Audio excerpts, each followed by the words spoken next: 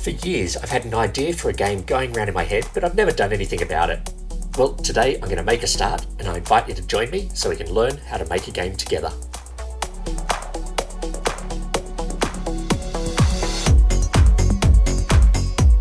In this first ever episode of the Island 54 devlog, I'm going to show you how I got started with the hello world of 3D games. It's just a first person character controller that can move around on a plane. I'll start by telling you about the tools I'll be using. Then I'll do a Q&A about what I hope to get out of doing this devlog, and then I'll show you how I built my Hello World. There are timestamps in the description if you want to skip anything. So first up, I installed a bunch of tools I knew I was going to need. I've decided I'm going to use Unity 3D as the game engine.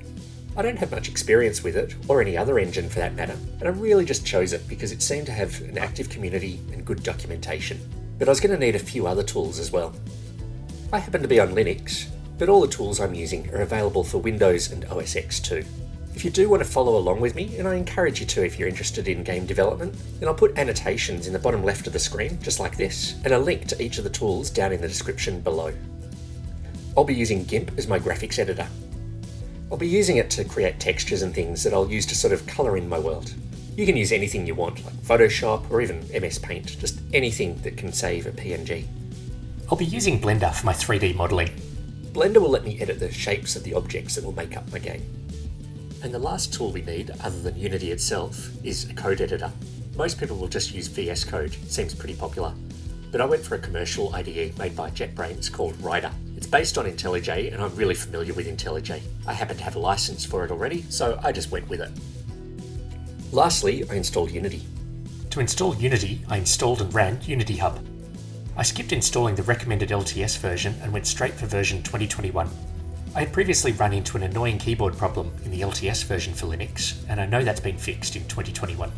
I wasn't sure exactly which build targets I was going to need, so I just checked a few of them Linux, Windows, Android. It meant it was going to take a while to download and install everything, so while that's happening, I'll move on to a bit of Q&A. First up, what kind of game are you making? The short answer is that I don't really know yet. If I had unlimited resources and I could make any game I wanted, it'd be a hyper realistic, survival, crafting, massively multiplayer online game. Think Eve meets The Long Dark, but in a medieval setting. That would be a massive undertaking, no. So instead, what I'm going to do is I'm going to prototype some ideas from my ideal game and just see where it leads me. If ideas seem to work, then I'll keep them. If they don't, then I can either iterate or throw them out. Second question Why are you making a devlog? So, I've been a software developer for many years. I've worked on all kinds of projects desktop apps, mobile apps, and big scalable web services. I've worked for big multinational corporations and co founded small startups. I really do love developing software. I'm also passionate about gaming but I've never had a chance to combine these two loves. I've never really tried developing a game. By making a devlog, I hope I can teach people while I'm learning, and keep myself honest at the same time. It's a way of giving something back to the community, even if my game ideas flop. Third question Is this a devlog or a tutorial series? It's mostly a devlog. That said, I don't see the value in a devlog that people can't learn from. Now, I'm not going to tell you how to develop a game line by line, pixel by pixel, but if you follow along, I hope that we can both learn not just how to make a game, but how to make a great game. My plan is to put out an episode about once a week, just going over what I've done that week. Now, if there's something you'd like me to cover in a tutorial format, let me know down in the comments below and I'll see what I can do. Also, drop a comment if you have a question you'd like to ask that I haven't covered here, and I'll try to address it in a future devlog episode. With the installation finishing up and the Q&A out of the way, it's time to get started on development. After creating the project, I first needed to create a simple environment for the player to run around in. I started with a basic plane. Now, without any texture, it's going to be too hard to perceive any movement, so I put together a simple grid texture and applied it to the plane. I then scaled the plane to about 100 metres aside. I threw in a placeholder for the player and attached a character controller component, because nothing screams hyperrealism like a capsule shaped human. I wanted to use Unity's new input system, so I installed that first. Then I temporarily added an input action component to it too, as this gives an easy way of creating good default input mappings that support keyboard and mouse and also other controller types. Then it was time to code. A lot of Unity developers would probably put the script for movement on the player itself and then apply the movement directly to the character controller. I instead created a separate hierarchy of empty objects to hold the more kind of central game logic like this. It just feels like a cleaner way of arranging things to me, since the player input can affect a lot more than just the character's movement. It can affect UI and other objects in the game as well. Now, I need to stress here that by far the best option is to just grab one of the many free first person character controllers from the asset store, but I wanted to use this as a learning experience and develop my own from scratch. I started with some boilerplate needed by the new input system, and then planned out what my character controller was going to do. I wanted it to be fairly full featured, with all the usual mouse look, movement, jumping, crouching, and sprinting. So, first off, I needed to work on movement. I added a couple of event handlers which would store the state and applied the requested movement in the fixed update method.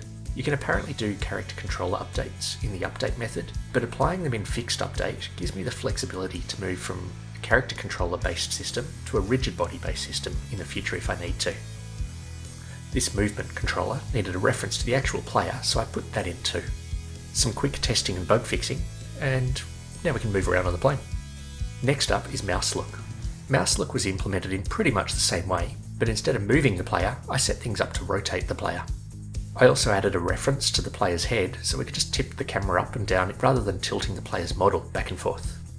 The best part is I totally managed to get this code working perfectly the first time. Now, after a tiny bit of, uh, let's call it refactoring, I was ready to call mouse look finished. I wanted to be able to turn mouse look on and off to make it easier to test within the Unity environment. I implemented this as a separate state management class that kept track of the cursor lock state and allowed the movement script to ask which movement features it should be allowed to support at any point in time. I hooked into mouse click and the escape key to turn mouse look on and off. With that one ticked off, it's time to move on to crouching. I added a new key binding to the input mappings and then implemented it much the same way as all the others. In this case, when the player requested that they crouch, I just scaled the whole player hierarchy. It originally felt a bit jerky when the player activated the crouch option, so I changed the code so that crouching was animated. Next up was jumping. Jumping was a bit more complicated. After adding the new key binding, I needed to add code to keep track of the, the user's ballistic trajectory while they're in the air. I didn't want the player to be able to control the character's movement while they were airborne. Within the fixed update method, I applied gravity and made sure I cancelled out any vertical movement the moment the character hit the ground.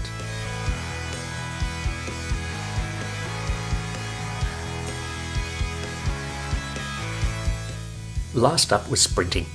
Again, I added a key binding and then just modified the existing movement code to change the character speed based on whether the character was sprinting or crouching.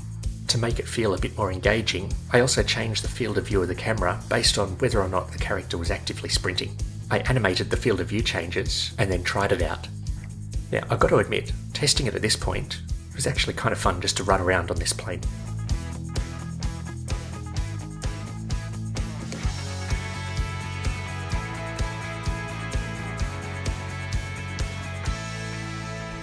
With the last item checked off, that was it for the character controller. That pretty much wraps up this episode of the Island 54 devlog. If you enjoyed this episode and want to support the series, I'd appreciate it if you could give it a thumbs up, which will help more people find out about it. If you didn't enjoy it but watched to the end anyway, be sure to leave a mean comment down below. In the next episode, I'll be adding an item into the world that the players can interact with. Until then, happy game developing and see you next time.